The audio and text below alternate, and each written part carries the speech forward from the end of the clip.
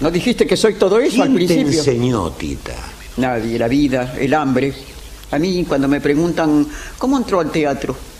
Y por hambre. ¿Cómo se hizo actriz? Por hambre. No estudié. Yo respeto mucho a los directores, a... pero yo pienso una cosa, Carrizo, que a sentir no te enseña a nadie más que la vida. Ha hecho falta en la vida, Carrizo, ser vanidosa. No fui. Yo me revestí, me hice un vestido para pelearla la vida de prepotente. Pero te habrás dado cuenta que no soy, que he vivido toda la vida añorando ternura, que es el mejor de los sentimientos porque comprende amor, pasión. Ternura, los franceses dijeran tendrés. Este. Sí, está, con gesto no Hay baches, hay épocas que mejor no recordarlas. Yo las recuerdo, por eso te dije al principio que yo era una mm, enferma de melancolía, de tristeza, porque yo me quiero borrar el pasado. Y en vez de, como me decía alguien el otro día, pero usted no recuerda las noches de sus éxitos. No. A mí me dejó marcada el hambre y el caminar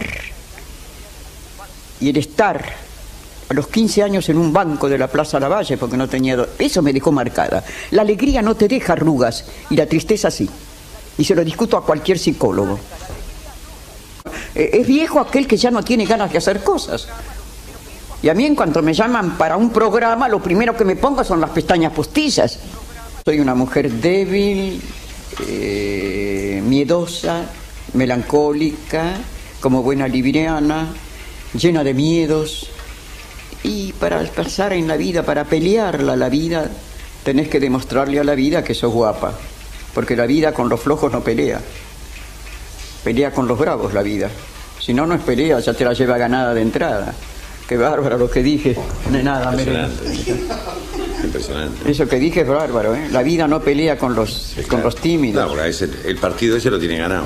Me dice, ah, me dice que se acuesta tarde, a las 4 o 5 de la mañana. ¿Por qué? Me dice, porque tengo miedo a morirme. Le digo, ¿por qué no te dejas de.? Le digo otra palabra que acá no se puede decir, porque lo quiero mucho a Belis y no quiero que tenga problemas. Este, entonces le digo, dejate de macana, Rosita. Si ya viviste, porque es mayor que yo, tiene 84 años, Rosita.